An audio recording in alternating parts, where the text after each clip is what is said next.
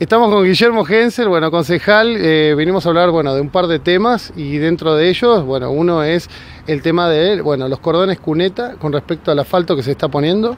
Sí, mira, la realidad es que es una obra que, que sentía, el otro día estábamos con la Junta Vecinal del 11, que, que nos planteaban algunas dudas y inquietudes sobre el proyecto, y sacábamos la cuenta que, que desde la obra de, del año 78, que es el camino al puerto, fueron 3 kilómetros, después en los últimos casi, casi 35 años se han asfaltado en Villa Langostura apenas eh, dos kilómetros y medio.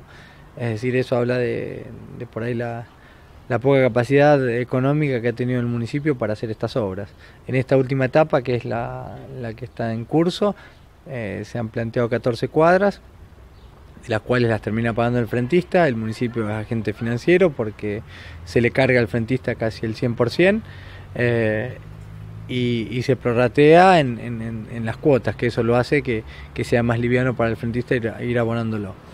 Creemos que hay algunas de estas calles que no tienen cordón cuneta, que la idea es prever y ejecutarlo antes de que inicie el invierno para evitar las correntías de agua, así que en eso también se está trabajando. Eh, macro lotes, el tema de las viviendas. Bueno, ¿cómo estamos con el tema de bueno las escrituras y bueno todo esto que vertió eh, Hermosilla el viernes en el vivo en el noticiero?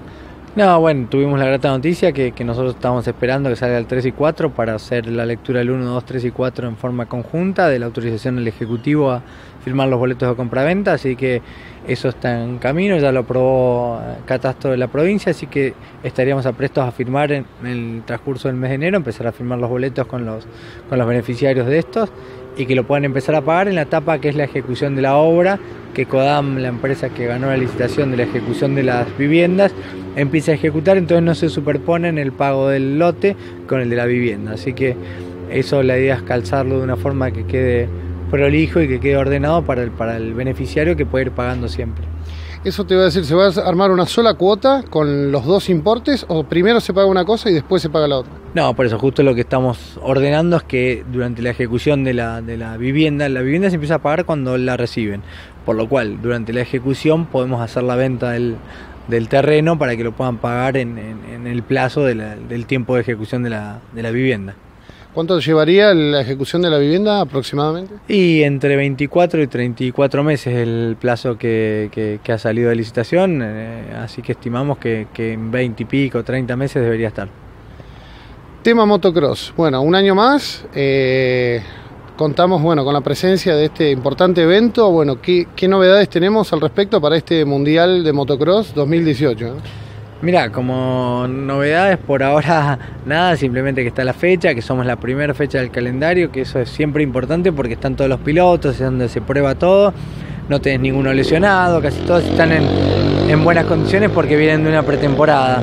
Eh, el auspicio va a ser de provincia y nación, siempre tenemos algún, algún temita hoy con, con parques nacionales que tenemos que pulir, que claramente siempre nos genera alguna alguna incertidumbre con el lugar, la realidad que no deja de sorprendernos, pero bueno, trataremos de... Nos referimos sea... a los mapuches, ¿no?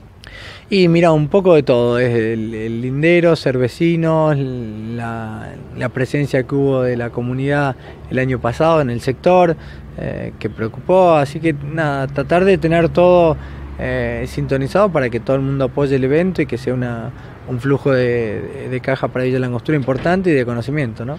¿Vos decís que este año la comunidad mapuche Paisila Entreago va, va, a interferir de alguna forma con respecto a este mundial? No, yo creo que también han entendido que, que ellos pueden utilizar el evento para visualizarse, pero no para entorpecerlo. Creo que ellos también plantean algunos reclamos hacia el Estado nacional, provincial, eh, y que los tienen que analizar. Y creo que sería bueno que se resuelvan en forma definitiva.